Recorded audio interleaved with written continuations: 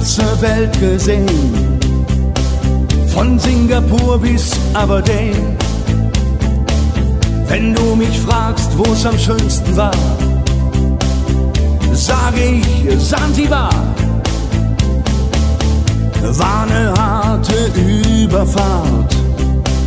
Zehn Wochen nur das Deck geschrubbt.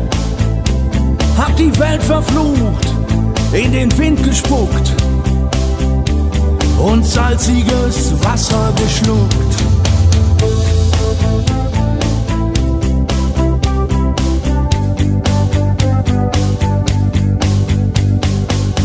Als wir den Anker warfen, war es himmlische Ruhe und die Sonne stand senkrecht am Himmel.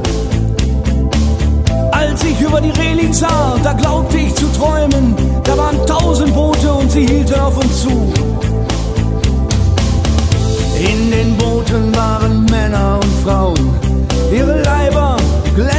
In der Sonne.